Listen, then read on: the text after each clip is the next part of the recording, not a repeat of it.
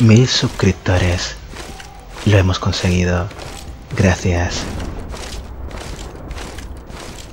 Y sin la ayuda de ninguno de los grandes, porque tampoco la hemos pedido, hemos hecho mil amigos. Después de tanto trabajar, que bien me van a venir estas vacaciones en el Black Ops, en esta fantástica villa. Uh, veo que por aquí las cosas han cambiado un poco, veo que el servicio va un poco más lento de lo habitual. ¿Dónde está la caipiriña que pedí?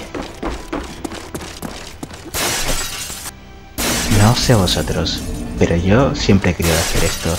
Y más ahora que soy un guiri en un país extranjero, con una piscina al lado, solo puedo hacer una cosa, balconing.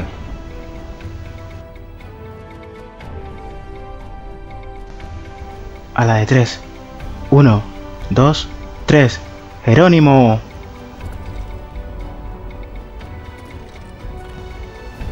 Y ahora el agua está fría. Uh.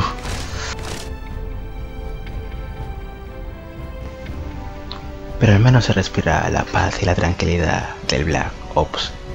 Hasta que lo rompa un mensaje. ¿Quién será? Oh, Jesus.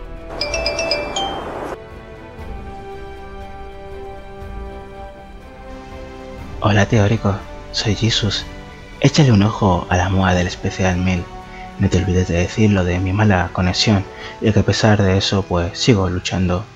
Además, últimamente se ven unas cosas en el modo Warfare 3. De verdad, tienes que volver. Tenemos que hacer algo.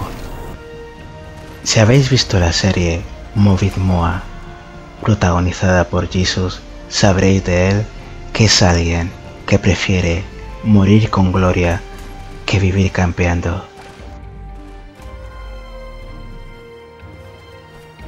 Pero lo siento, Jesus, yo estoy ahora de vacaciones. No, no, no, no. Yo de momento al modo Warfare 3 no vuelvo.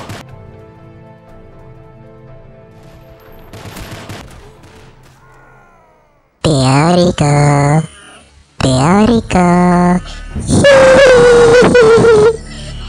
Oye, teórico de CP Fidelis, el mismo. Me he enterado que habéis llegado a los mil suscriptores. ¡Felicidades! Y ahora, dime qué queréis. ¿Un pin o una medallita? ¡Ey, ey, ey, ey! ¿Quiénes sois? Se supone que estas iban a ser unas vacaciones tranquilas. Ande. ¡Ey! No es para la fiesta ni nada de eso. ¿Sabes lo que pasa? Es que estábamos en el Modern Warfare 3 y estaba todo el mundo campeando y la verdad, campear cuando todo el mundo campea no tiene gracia. Así que eh, hemos alquilado el Black Ops y nos hemos venido al Black Ops y la verdad que se campea de lujo. Está increíble este juego. ¡Camperos! ¡Camperos! ¡Camperos! Ey, teórico, puedes llamarme campero todas las veces que te dé la gana, pero realmente hoy en día que te llamen campero es un halago.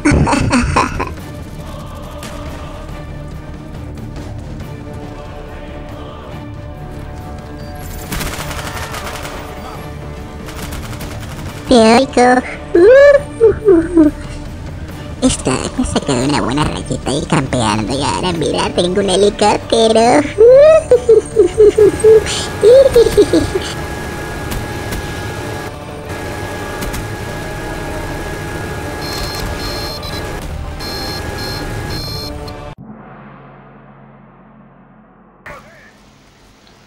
Hay cosas que deberían ser patrimonios de la humanidad.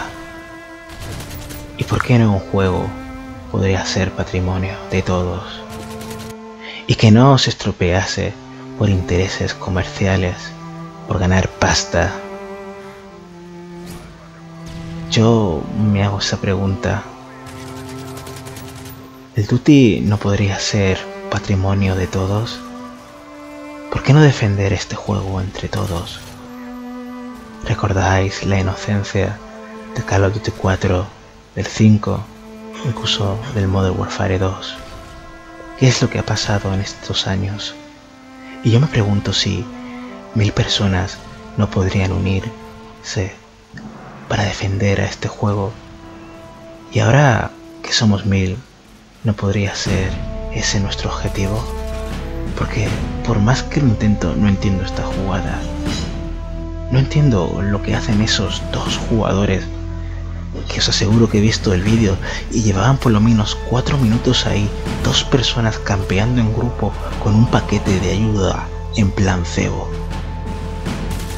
Quedan 3 meses para la salida del Black Ops 2. No sabemos si será mejor o peor juego, pero está claro que si jugamos así, no ayudará en nada.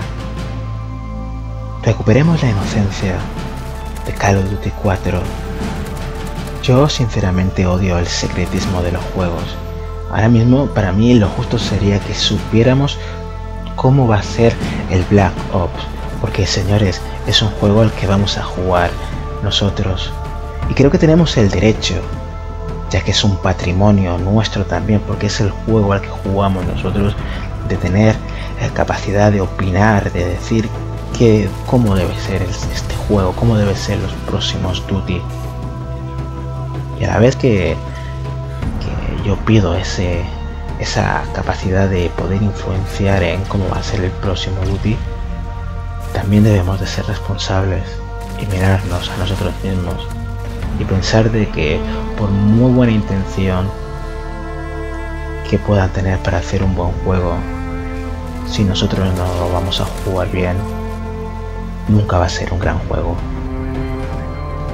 Pero también queremos hablar en este vídeo especial de la gente que nos ve en YouTube y comenta nuestros vídeos. Y ahora vais a ver en pantalla sus nombres.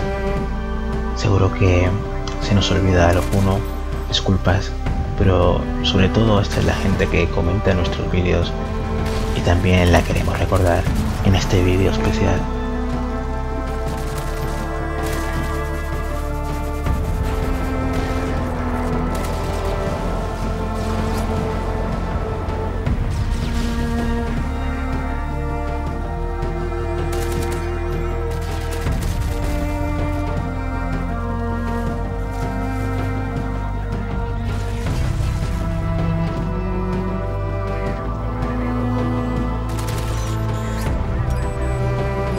También queremos recordar a estas personas por sus consejos y su apoyo.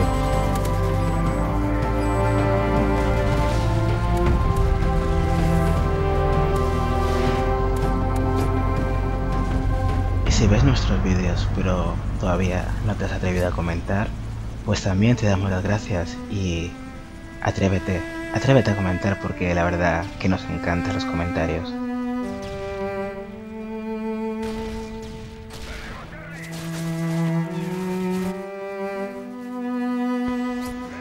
Y también quiero recordar a todos los fieles, los de la primera época y los que llegaron después. Entre ellos está Jesus, un jugador excepcional que me inspiró en un momento determinado y que tengo que reconocer cambió mi forma de hacer vídeos. Gracias Jesus y gracias a todos. Me despido hasta el próximo vídeo. Un saludo y hasta la próxima cracks.